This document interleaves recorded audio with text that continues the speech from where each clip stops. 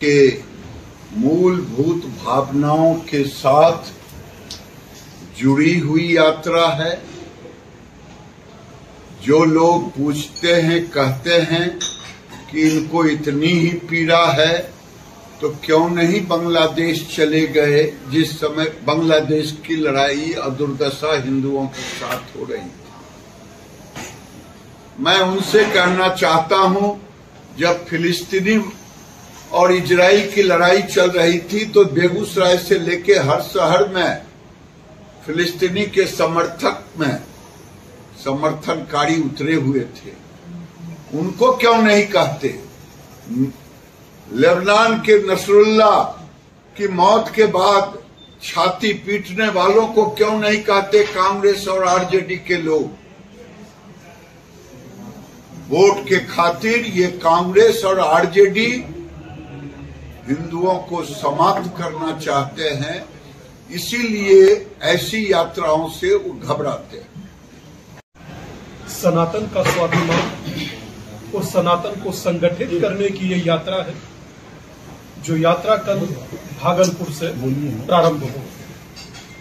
निसंदेह दादा ने सही कहा कि पिछले 22 महीनों से निरंतर ये यात्रा चल रही है, जो अब तक 80 लाख सनातनी हिंदुओं को जोड़ चुकी है।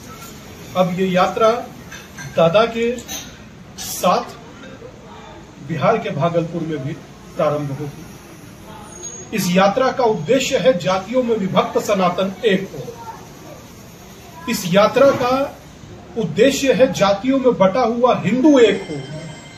इस यात्रा का मूल मंत्र है कि ना कोई दूरी, ना कोई खाई, हिंदू हिंदू, भाई भाई। कोई ऊंच नीच नहीं, कोई छोटा बड़ा नहीं, कोई पराया नहीं। सभी सनातनी हैं, सभी भाई हैं और सभी एक हैं। दादा ने doctor B R Ambedkar ji की बात की तो ज़रूर कहूँगा, डॉक्टर अंबेडकर की पुस्तक है, पुस्तक का नाम है हुआ Shudras. Paragraph number one, chapter number three में लिखा है कि कोई शूद्र शब्द का ज़िक्र किसी जाति से करता है तो वो गलत है, किसी शूद्र का ज़िक्र जाति से नहीं है कनेक्टेड नहीं है। यही बात भगवान कृष्ण कहते हैं। श्रीमद भगवद गीता अध्याय नंबर चार, श्लोक नंबर तेरह और पन्ना नंबर एक सौ छिहत्तर।